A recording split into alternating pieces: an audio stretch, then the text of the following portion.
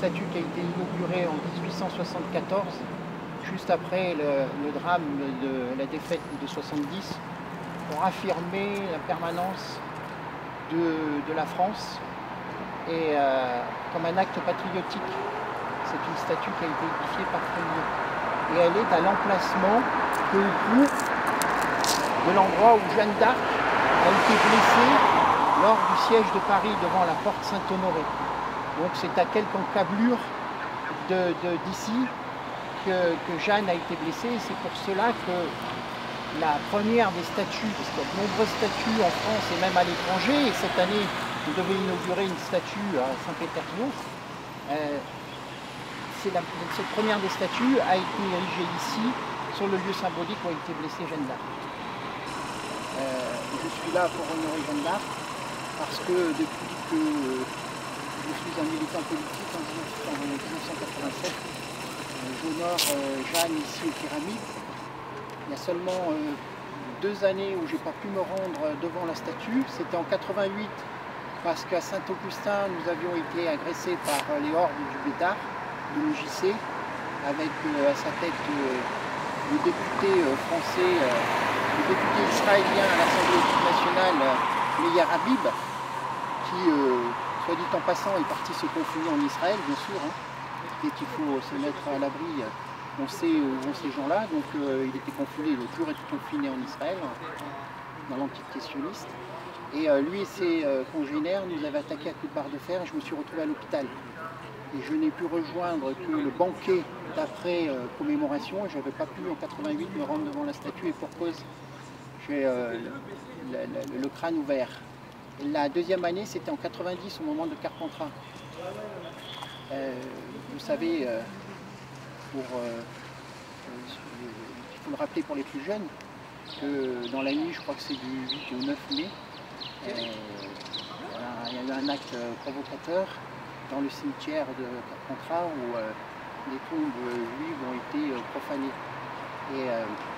Jox, le ministre de l'Intérieur de l'époque, a manipulé l'opinion publique, a utilisé, comme ils savent le faire, dans les opérations de sidération, hein, comme Je suis Charlie, comme Racheter chez vous, avec l'épidémie, c'est un moyen de, conditionner l'opinion publique, eh bien, euh, vous avez monté une grosse opération contre le Front National et nous n'avons pas pu accéder à la structure du pyramide puisque les policiers avaient bloqué l'accès. Et dehors, et Bécard et des protégés par les policiers, euh, agressaient tout ce qui pouvait ressembler à un militant nationaliste.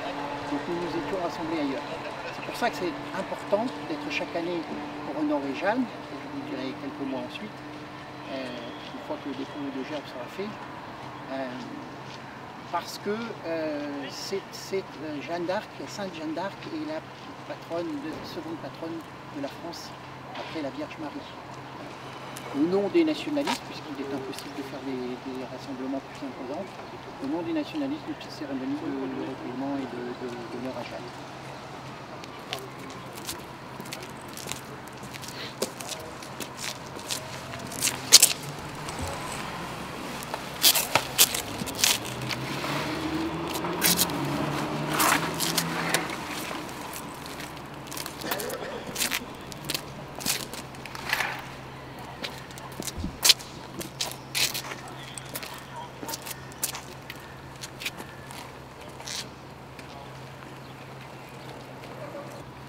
L'autre dans le ciel n'est qu'une jeune enfant. Telle qu'elle partit de sa jeune Lorraine, ne fut jamais qu'une humble et courageuse enfant. Et ce grand général qui prit tout un royaume, et ce n'était pas rien, le royaume de France, dans le dernier climat et sous le dernier dôme, n'aura pas plus vieilli que la jeune espérance. Et ce grand général qui menait des armées, comme on gagne le ciel, et ses tambours battants, ainsi ce grand vainqueur et ce grand combattant balayait en passant les graves renommées, comme elle eût balayé le devant de sa porte. Et nous, ses serviteurs, nous autres les puissants, nous l'avons fait périr, nous l'avons faite morte, comme Hérodote fit mort 300 000 innocents. Et l'autre est morte ainsi, d'une mort solennelle, elle n'avait pas passé ses humbles 19 ans que de ça 4 ou 5 mois, et sa cendre charnelle fut dispersée au vent. Charles Péguy. Nous voulons rester français du nord à la Méditerranée l'océan aux Pyrénées. Rester français vers l'avenir, fidèle au passé. L'œuvre des Français doit se continuer vers l'avenir, fidèle au passé, créatrice de succès.